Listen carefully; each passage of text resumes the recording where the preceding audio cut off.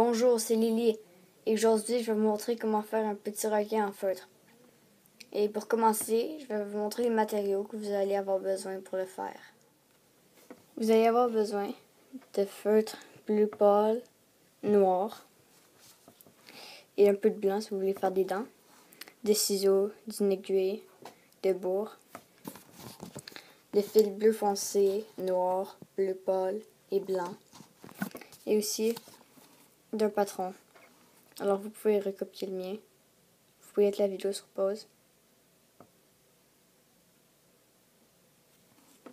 Ok, alors maintenant on va commencer à découper les pièces. Maintenant, vous allez prendre votre, votre patron de requin. Vous allez mettre sur votre feuille bleu pâle. Après, vous allez prendre un crayon. Vous allez tracer le contour en double. Et vous allez découper les pièces. Si vous voulez, vous pouvez planter des petites aiguilles comme ça dans votre patron pour pas que ça bouge pendant que vous le tracez avec un crayon. Quand vous avez découpé vos deux pièces de requin, vous pouvez découper deux nageoires en bleu pâle. Euh, ah, euh, désolé. Vous devez en découper deux parce qu'il va en avoir une de chaque côté. Parce que pour le requin, pour ce requin, euh, ça va faire comme un miroir.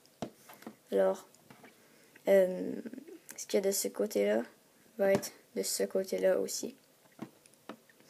Aussi, vous devez découper deux paires de dents, euh, deux grands cercles blancs et deux petits cercles noirs. Et vous pouvez les coudre ensemble en utilisant un felt stitch. Et désolé si je dis le nom des points en, anglais, c'est parce que je sais pas c'est quoi en français. Parce que je, regarde des regardais des tutoriels en anglais. Bon, maintenant on va commencer à coudre. Alors la première étape, c'est que vous allez prendre une de vos petites nageoires et un côté de, de votre requin. Et vous allez coudre la nageoire sur la pièce de requin en utilisant un felt stitch. Mais vous allez juste coudre ce côté-là, comme ça. Comme ça, votre nageoire va pouvoir bouger comme ça va faire plus mignon. Et vous allez faire la même chose de ce côté-là, sauf euh, à l'inverse. Parce que sinon, euh, la nageoire va être à l'intérieur. Quand vous avez cousu vos nageoires, vous allez prendre euh, vos yeux et vos dents. Vous allez les coudre en utilisant un felt stitch. Et en utilisant un, un backstitch, vous allez coudre une bouche juste là, au-dessus des dents.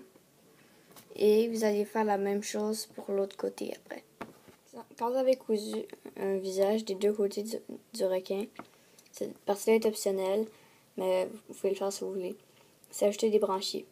Alors vous prenez du fil bleu foncé et vous faites des lignes euh, en diagonale en utilisant un backstitch. Et ça, vous pouvez le faire des deux côtés.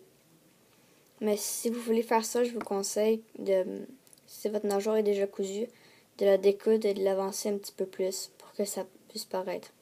Parce que moi, ma nageoire, ça cache un peu les branchies. Mais euh, quand vous avez fait ça, après, vous pouvez prendre vos deux pièces de requin, comme ça, et coudre les, les deux pièces ensemble en utilisant un blanket stitch. N'oubliez pas de vous laisser un espace pour la bourre. Quand vous avez cousu tout, tout, le long des deux parties, vous avez terminé. Si cette vidéo vous a aidé, laissez un petit pouce vert et abonnez-vous. Vous pouvez me dire ce que vous en pensez dans les commentaires. Merci d'avoir regardé ma vidéo et à plus.